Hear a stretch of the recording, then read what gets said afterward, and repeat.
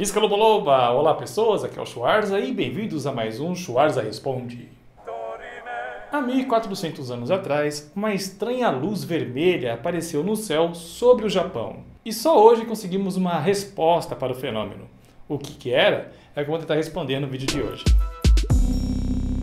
E eu sei que muitos de vocês devem estar percebendo que meu olho está bem vermelho. Bom, como eu já venho dizendo em alguns vídeos, meu olho ficou um pouco irritado por conta do excesso de trabalho, né? Ficou olhando para o monitor, aí meu olho ficou ressecado está aqui o resultado. Mas não fiquem preocupados, que ele só está um pouco irritado, logo logo ele volta ao normal e eu não estou morrendo por conta disso. O Nihon Shoki é a história mais antiga oficial lá do Japão. Parte lenda e parte fato, ela descreve a origem do país e seu desenvolvimento até o final do século 17 d.C. E nele pode ser encontrado uma descrição de um evento astronômico altamente incomum e que os cientistas não conseguiram explicar. Mas parece que uma equipe de cientistas finalmente colocou um fim neste mistério. Nossa, lembrei agora do Mr. M. Nossa, vocês assistiram o Mr. M?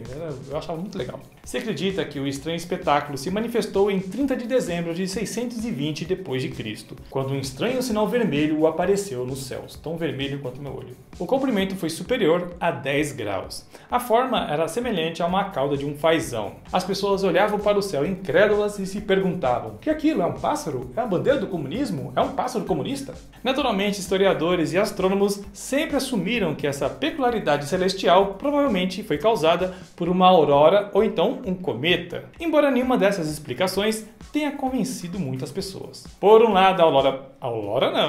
Por um lado, a aurora boreal não costuma parecer um rabo de um fazão. Em vez disso, ela tem um formato um tanto estridente. Enquanto isso, os cometas não são conhecidos por produzirem shows de luzes vermelhas, o que seria bem interessante, ia ficar parecendo uma balada gigante. Os autores do estudo revelam como pesquisaram nos anais históricos para encontrar descrições mais recentes das auroras sobre o Japão. E eles descobriram que alguns deles teriam sim a aparência semelhante ao rabo de um fazão, olha só vocês. Enquanto as luzes do norte normalmente não são vistas tão ao sul quanto o Japão está, os pesquisadores observam que o espetáculo etéreo pode ter sido mais comum em 620 d.C., pois o polo norte da Terra estava em um local diferente, ou seja, o Japão estaria mais perto do norte magnético do que ele está hoje em dia. Poxa, um dos fenômenos que eu mais queria ver na minha vida era uma aurora boreal.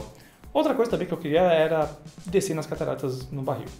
Enfim, os polos magnéticos da Terra estão de fato mudando continuamente, mas isso não vai causar o fim do mundo, pode ficar calmos aí, nada de torrar suas economias ou sair correndo pelado por aí. Isso acontece à medida que o núcleo externo de ferro do planeta causa flutuações no campo magnético norte e sul. E de vez em quando ocorre uma inversão do campo magnético, na qual os polos norte e sul trocam de posição. As auroras são causadas por partículas carregadas do Sol colidindo com a atmosfera da Terra. Como essas partículas interagem com diferentes elementos, elas produzem cores diferentes, sendo que o vermelho é uma possibilidade. Normalmente, essa exibição deslumbrante é visível apenas nos círculos Ártico e Antártico, que estão localizados a cerca de 66,5 graus norte e sul do Equador, embora as auroras sejam ocasionalmente vistas em regiões não polares. Dada a baixa possibilidade de um cometa passar por cima do Japão em dezembro do ano de 620, 2020, quando Michel Temer ainda era um adolescente, e a possibilidade ainda menor de emitir uma luz vermelha,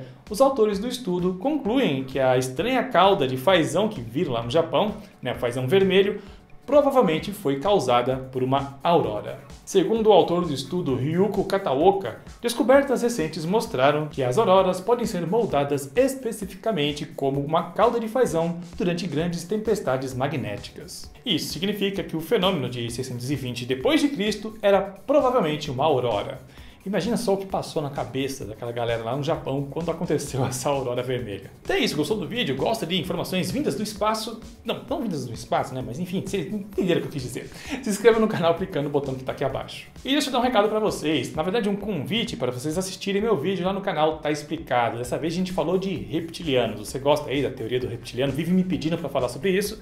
Eu fiz um vídeo lá no canal Tá Explicado e tá bem bacana. Para assistir o vídeo é só clicar no botão que está aqui abaixo. E recadinhos de sempre. Se você quiser ajudar esse canal, você pode pode virar membro dele, clicando no botão que está em algum lugar aqui abaixo, comprar minhas camisetas lá na Chico Rei, como essa aqui que eu estou usando, com um Faustão muito louco, ou então meu livro do Ato ao Buraco Negro. Para comprar tanto o livro quanto a camiseta, tem link aqui embaixo na descrição. Beleza, pessoal? Então é isso, eu vou ficando por aqui. Um grande abraço para vocês e hasta!